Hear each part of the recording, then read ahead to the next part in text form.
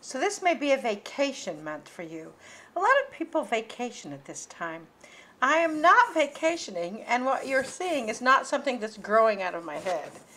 It's it or maybe it's masking my antenna. I'm actually at an Airbnb right now, working, and you know, I think the thing that I would like to impress upon you this month is make the most of wherever you are.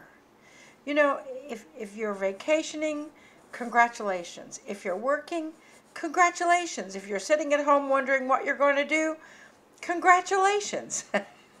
you see, it's all in the perspective.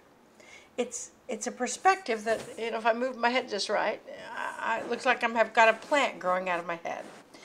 That's a perspective.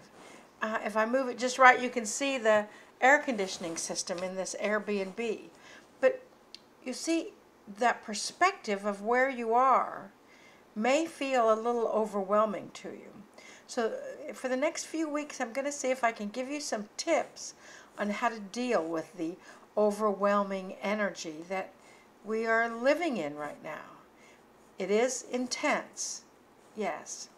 So, the first thing that you know I'm going to say, if you have listened to me for five minutes any other time, is sit in the stillness.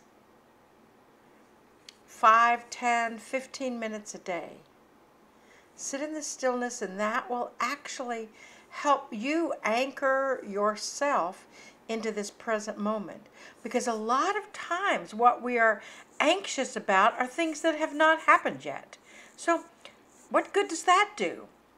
Instead, sit in the stillness and bring yourself present, focusing exactly on this present moment and what are you doing? What is the next most important thing for you to do, to say, to know? To be in that state of divine grace. What does divine grace mean to you? Having that energy and having that information will help you from feeling overwhelmed. I know the politics and the things that are going on around the world are, are intense.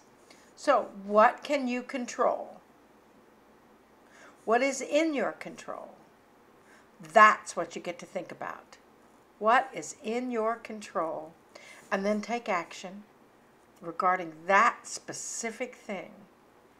So, tip one be present, breathe into the stillness, and ask what is in my control that I can physically do. And then take action. I guess that's step one and step two. tip one and tip two. Ah, maybe tomorrow we'll have tip three and maybe tip four. Have a great day.